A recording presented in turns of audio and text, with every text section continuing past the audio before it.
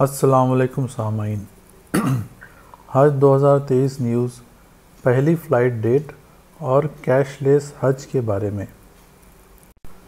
Times of India की latest news के मुताबिक, इस साल हज इंशाल्लाह कैशलेस होगा। यानी आप लोगों को फॉरेक्स कार्ड इशू किए जाएँगे।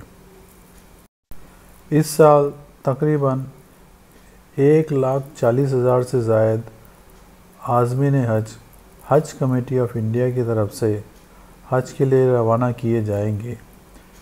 उसमें तकरीबन 4,300 से ज़ायद वुमेन यानी लेडी आज़मीन हज होगी जो कि विदाउट महरम अपने ट्रैवल कर रही होगी। गवर्नमेंट ऑफ़ इंडिया ने इस बार स्पेशल अरेंजमेंट किया है कि पिलग्रिम्स को कैशलेस हज की सुविधा मुहैया करवाए। इसके लिए फॉरेन एक्सचेंज का रिक्वायरमेंट इस साल गवर्नमेंट ऑफ़ इंडिया पूरा करेंगी। तमाम आजमिन हज को स्टेट बैंक ऑफ़ इंडिया की तरफ़ से स्पॉरेक्स कार्ड प्रोवाइड किया जाएगा।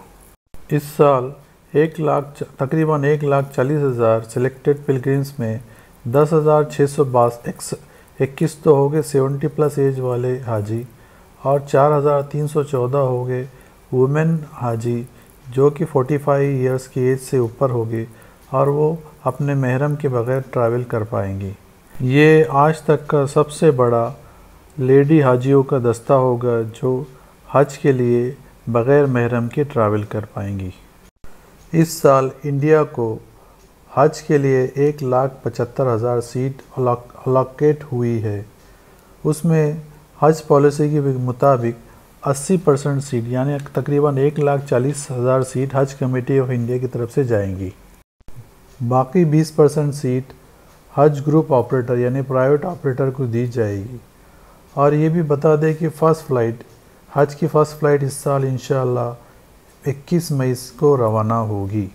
Ministry of minority minority affairs ने स्टेट बैंक ऑफ़ इंडिया के साथ एक स्पेशल अरेंजमेंट किया है, जिसके तहत फॉरेक्स कार्ड की फैसिलिटी बहुत ही कम्पिटिटिव रेट्स पर हज पिलग्रिम्स को मुहैया कराई जाएगी। आप लोगों को याद होगा कि पिछले सालों में हज पिलग्रिम्स को हज कमेटी ऑफ़ इंडिया की तरफ़ से 2100 रियाल दिए जाते थे कैश में।